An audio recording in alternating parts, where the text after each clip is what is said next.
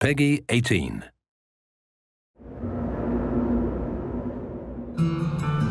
Metro has always uniquely been about stepping into Artyom's shoes, becoming Artyom, experiencing what life is like in that world, making the choices that you make as you play through, defining who that character is that, that you're playing as. We don't want you to sit down and play Metro and feel like you're playing a game. We want you to step through your monitor and actually participate in the world.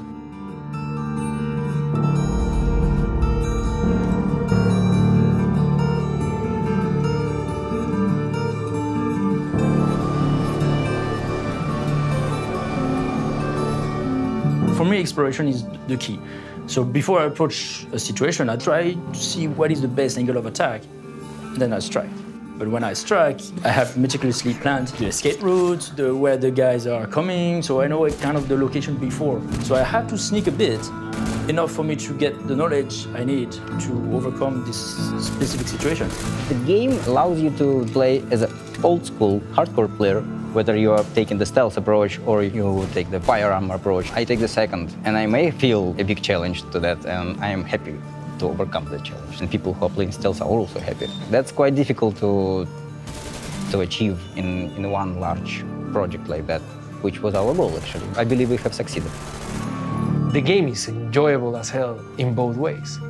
And in both ways, it's also rewarding. We took real care to make sure that the player understands the story no matter the way he might uh, approach it. You might go for a full run and gun, and you could still get uh, what's going on. It's not like you will be uh, depriving yourself of any understanding of the people you are meeting or the events you're going through. But you will certainly lose uh, some of the extras uh, we put into the game. But then again, you're having fun. That's what matters. I'm the god of stealth. I'm a shadow in the night. And I'm the, if it moves, I Kill it. We've always wanted the world to react to players' decisions and how they like to approach situations. And so we've always had this underlying system that's been hidden to allow the player to play as they would naturally play and then be able to see the consequences of how they play. There are a lot more opportunities for players to make decisions that might have consequences, and there's a lot more opportunities for players to see those consequences. It's more about immersing yourself in the world and the world reacting realistically to what you do. Now we have much more living and atmospheric experience uh, than in previous Metro game, because even in combat, morality and question of morality, helping our story, helping our world to show player all you do, all decision, kill or don't kill, it's important, because it's not just simple shooter. And behavior, story, AI working together, it's a part of a whole atmospheric system.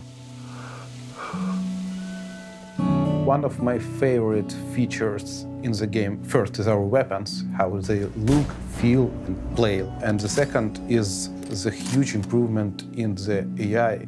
We have really complicated system. Creatures, they decide what should they do next. Do they need to attack? Do they need to retreat? Considering how many monsters are in their group, how many scary monsters are in another group, and how this all works together and works not only between two groups of monsters, but also with the player influence on all the situation, makes a lot of great random encounters in game. We try to simulate like in real world. It's very important to create in player a feeling of real and breathing world. В общем, с момента обсуждения концепции игры с лидом мы пришли к выводу, что а, чем более а, детализированным будет звучание, тем более реалистичнее будет картинка. Для того, чтобы погрузить игрока в настоящую реальность, а, все-таки а, важно уделить внимание а, каждой мелочи. По максимуму мы стараемся озвучить все пространство, которое представлено на картинке, и то, как это происходит в реальной жизни. We have the saying that fear has uh, wide eyes. And I must say, fear has uh, wide ears. First person shooters are mostly about the action. But in Metro, you can sit back and just enjoy the sound scenery of each level.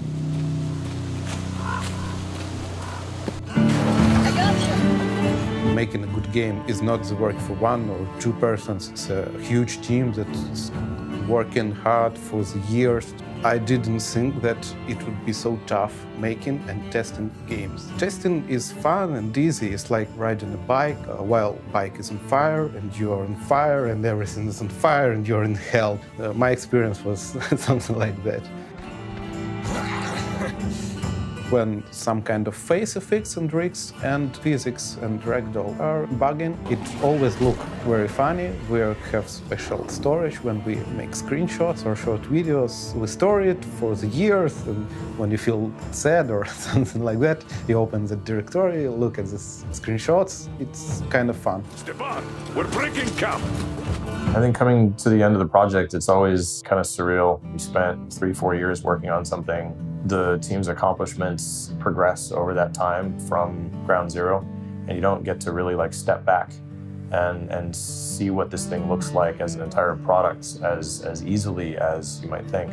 And when you do get the, those chances um, it's pretty cool to see. And when you finally start to put all those pieces together it was a huge moment because we actually got to see how all of that effort leading up to that point comes together into something that feels like a game and feels like an experience It feels like something that's real, a real product that we can release that players can uh, can enjoy. And it you know feels like it's something that you can really be proud of. Like wow, it's like you know it's it's a cool thing to see it in a box. There's, there's always that feeling of like, wow, we did it.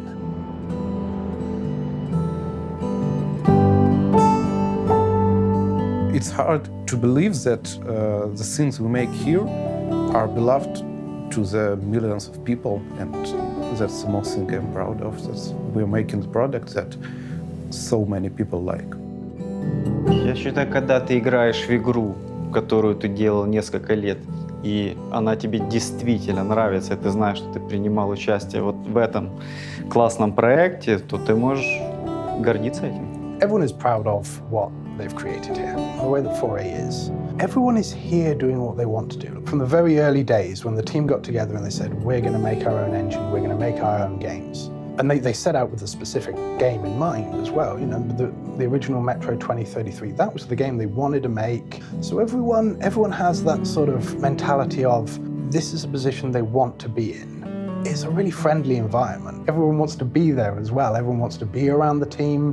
One of our company heads, Prof, is, is absolutely amazing at rallying the troops with his Spartan speeches. And there's that, that sort of sense of camaraderie sticks and it, it really holds the team together. During working on beta version, uh, I received stroke and uh, team finishing the game without me. So playing the the game, I I'm really proud that uh, I worry about that. No, perfect. I'm worried about that. No. So uh, guys did it perfect. We're working on a passion project. I do know that uh, quite a lot of studios uh, have something that uh, they love and they work on it and they're pretty happy about that. But uh, with us, uh, it's maybe a bit different in that uh, we're working from our personal experiences and it is a unique type of fun. I would say that I'm mostly proud actually about our relationship. We stayed kind of friends and friend relationship between each other and we managed to finish this project working actually all together as a team. We always really find a way to achieve our dreams, to follow it, and there's always a price of this, for these dreams. This is mainly what the story is, of is about, his fight, his way to his dreams. We never place comfort of our working before our goals. It's all only possible when old people lives and works like one family. We know like if we work hard, we will achieve, we will follow our dreams, everything comes true.